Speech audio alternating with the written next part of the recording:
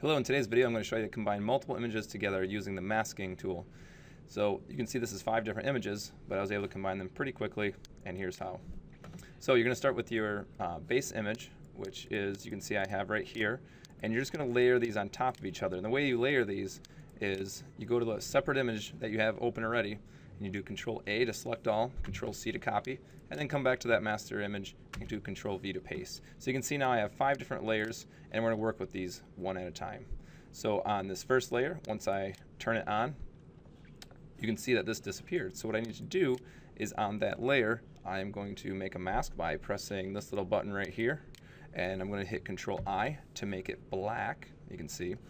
And then if I go over here to my brush, make sure it's on 100% and it's quite large right now, which is fine. Make sure the brush is white and it's at 100%. And then what I can do is, I know he was right around here, so you can start brushing in. Yep, there he is. And I'm gonna just mask that in right there, just get the rest of it. And I'm using a soft brush, that way the edges don't show up very well.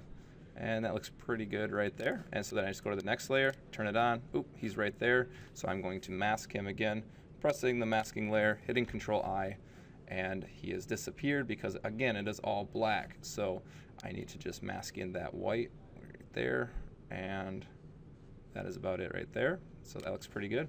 Next layer turn it on mask it control I and I believe he was over here so I'm just gonna turn that on a little bit. And you can see I screwed up. I got into the shoe right there. So if I zoom in some I can see what's going on. I can go back to that layer click reverse this to be black make it smaller. And that way I can make sure that I'm not messing up the image below it. All right, and then the last one, I'm gonna zoom out. I can see this good looking fellow looking up right here. And I'm going to, again, mask that. This button right here, Control I, reversed it, and use my white again and start putting him in there.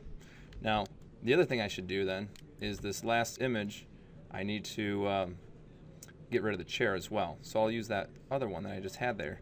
And now let's go through and what I want to do though is zoom in and use a smaller brush and just go in there and get rid of it. Now, you're actually going to want to use a hard brush here uh, because it's going to be a lot trickier. Or what you could do is you could use a selection brush. Today's not really about real small refinements, things like that. So you can use this way. You could use the uh, magnetic lasso tool.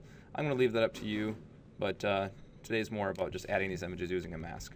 But in the end, there's the image. I guess the last thing I want to do is maybe crop it down to something like this, maybe a little lower. And going to get image, crop, and then I would save that. So I'm going to do save as. I can choose JPEG then because I'm going to publish this online.